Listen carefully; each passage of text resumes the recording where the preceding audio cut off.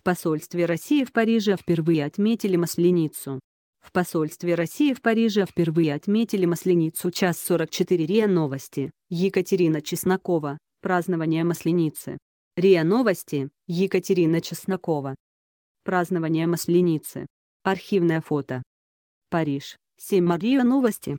В посольстве России во Франции впервые отметили Масленицу с русскими народными песнями, танцами, частушками, которые исполнили артисты из Калужской области, и традиционным для этого праздника угощением блинами. Добро пожаловать на русскую масленицу в посольстве. Мы впервые к этому опыту обращаемся и надеемся, что вам уже понравилось начало, а продолжение нашего сегодняшнего вечера окажется не менее ярким. Это древняя традиция Руси, которая идет еще с дохристианских времен проведения Масленицы. Если говорить о Франции, она сопоставима с так называемым «жирным вторником», сказал российский посол во Франции Алексей Мешков собравшимся в посольстве гостям. Жирный вторник – последний день карнавала, завершающий всеядную неделю, после которой для верующих католиков наступает Великий пост. Как и Масленица, праздник имеет языческие корни и сопровождается карнавальными шествиями и широким застольем. Он отметил, что сейчас в разных частях мира проходят карнавалы, а Масленица – это наш, русский карнавал. Это очень добрый праздник, который предвещает приход весны, добавил российский посол.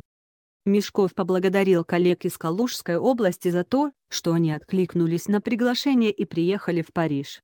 В частности, в посольстве присутствовал губернатор области Анатолий Артамонов. Глава российской дипмиссии напомнил, что в среду утром в Париже успешно прошла презентация потенциала Калужской области. Калужская область – одна из самых перспективных и динамично развивающихся областей России. Она является одним из пионеров российско-французского экономического сотрудничества.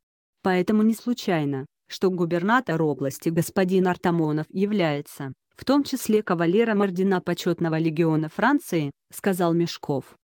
Губернатор Калужской области в своем выступлении отметил, что каждый француз и каждый русский знает историю легендарного полка Нормандия-Неман, в составе которого французские летчики, а также французские и советские механики боролись с гитлеровской коалицией. Вчера, 14.45. Масленица напугала латвийских националистов.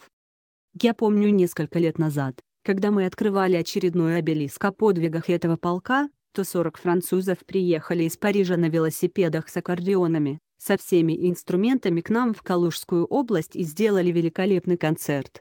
С тех самых пор я думал, когда и как мы можем отблагодарить их за этот вообще-то подвиг и сделать что-то в ответ на такой замечательный шаг. Благодаря предложению господина посла нам представилась такая возможность. Сегодня мы имели и деловую часть нашего визита, но самое главное, ради чего мы приехали, это показать вам хотя бы частичку нашей культуры, наших искусств, промыслов народных, рассказал Артамонов. В среду вечером состоялся концерт с участием русского инструментального ансамбля «Каприз» и академического ансамбля народного танца Калужской области. Гостям вечера дарили маленькое чучело масленицы, сделанное из соломы, и леденцы на палочке, фойе посольства была организована выставка народных промыслов Калужской области.